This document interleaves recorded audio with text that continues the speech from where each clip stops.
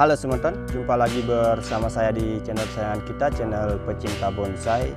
Nah, jadi teman-teman di video kali ini saya akan sedikit sharing ke teman-teman ya.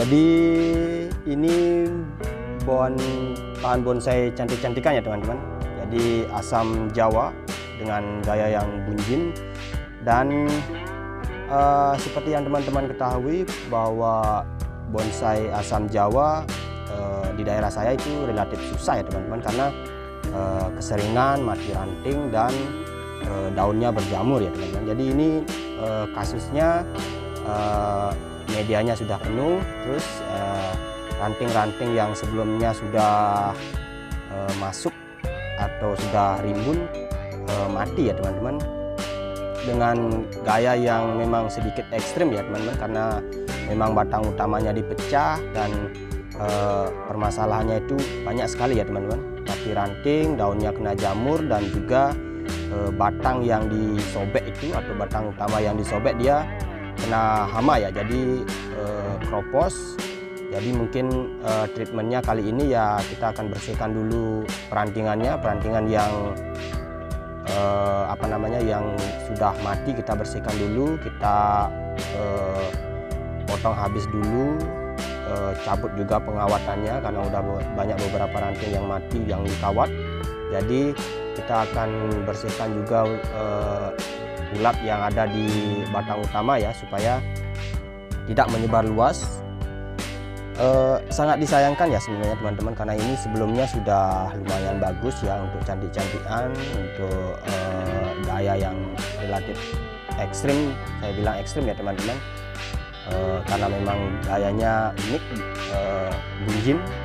Bunjin dan nah seperti yang seperti teman-teman lihat uh, ini ya banyak sekali yang sudah mengelupas jadi kita terpaksa harus kasih lem sulfur lagi supaya tidak menyebar luas ke mana-mana ya teman-teman. Karena ini akan menyebabkan banyaknya ranting-ranting utama yang akan mati lagi ya seperti contoh yang bisa teman-teman lihat di awal video di arah top itu sebelumnya sudah rimbun ya sudah rapat sekali dan uh, sudah enak sebenarnya cuman ya seperti itu. Namanya juga bonsai ya teman-teman. Uh, lambat sedikit perawatannya sudah akan efeknya itu luar biasa ya apalagi kena jamur dan eh, kena hama-hama. Padahal sudah biasa disemprot dan dikasih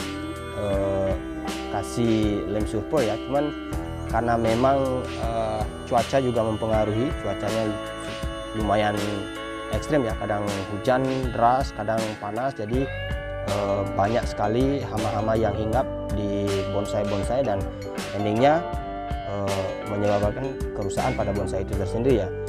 Karena uh, di stand juga saya uh, perhatikan sekarang seperti apa namanya itu uh, bonsai-bonsai lainnya sancang, kimeng itu benar-benar ya jamur putih itu uh, sangat susah untuk ditanggulangi ya teman-teman. Kadang disemprot, uh, sekarang uh, bisa hilang dua hari tiga hari lagi udah muncul lagi ya.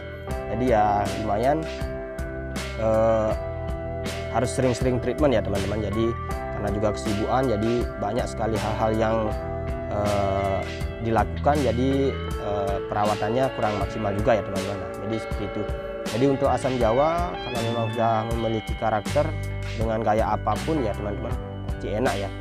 Bahkan uh, saya ada yang besar yang di, di cangkok itu udah ada sepaha saya ya. Besar sekali. Itu pun sekarang sudah kondisinya juga uh, lumayan memprihatinkan ya. Karena uh, terus menerus mati ranting ya teman-teman. Jadi buat teman-teman yang mungkin tahu uh, teknik perawatannya atau hal-hal yang harus dilakukan bisa langsung sharing-sharing ya ke teman-teman uh, supaya saya juga tahu ya saya pun masih cari-cari dari teman-teman sesama sehobi.